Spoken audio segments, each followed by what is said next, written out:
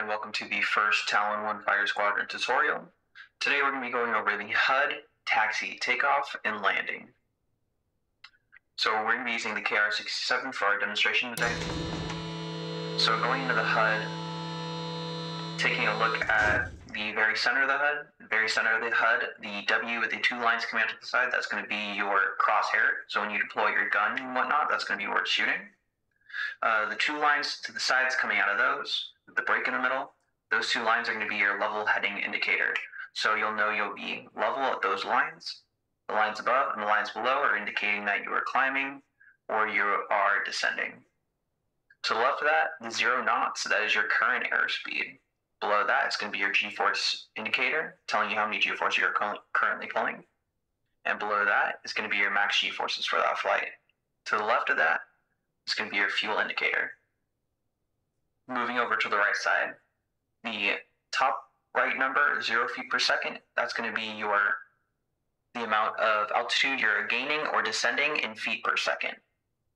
And then below that is going to be your sea level altitude indicator. When you take off, there will be another number that appears below that, and that's going to be your radar altitude, letting you know how far you are from the ground in relation to how far you are from the ground instead of sea level. To the right, the wheels are going to be your your landing gear indicator, letting you know that your landing gear is currently deployed. And now we're going to throttle up. We're now going to do the taxi tutorial. Taxiing is pretty easy, just follow the yellow line. I normally like to try stay about max 15 to 20 knots during during taxi.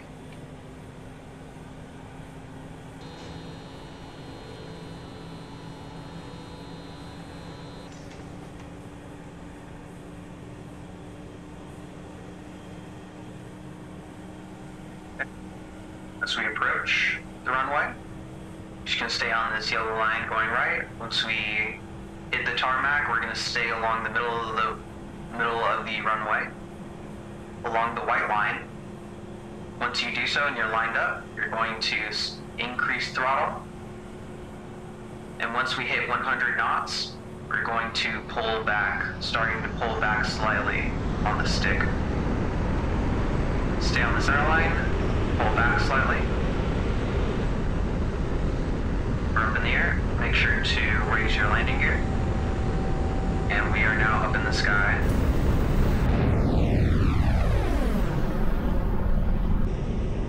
Something that's very important while taking off is making sure not to exceed your angle of attack farther than uh, what your current airspeed will allow.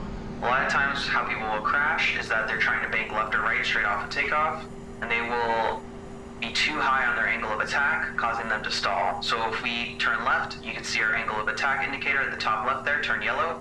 That's letting us know that... Stall. Yep, that's letting us know that we're going to approach a stall if we continue on that path. So we're going to slightly pull up and straighten out, fixing our stall and also increasing airspeed.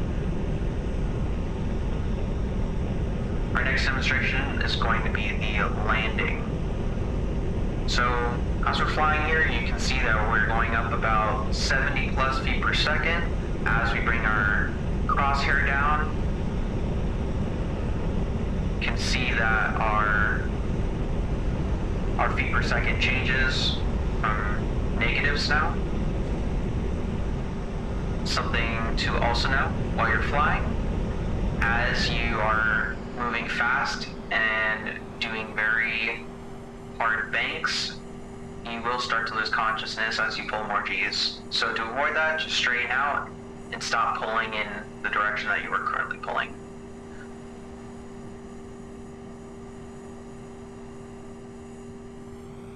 On approach, on final touchdown, it normally like to be about 120 to about 150 knots on final approach.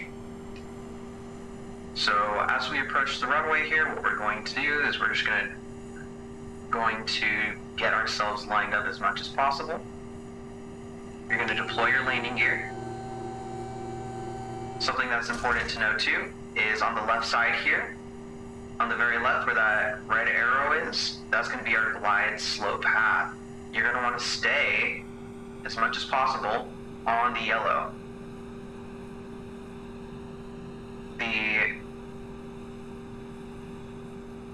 the red's letting you know that you're too low. The green's letting you know you're too high. So we are on a very good glide slope right now. We're just going to hold this as we approach our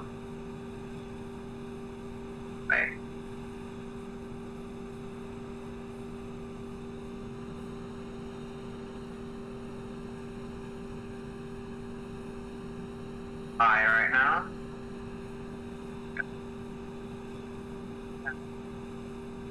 Slightly.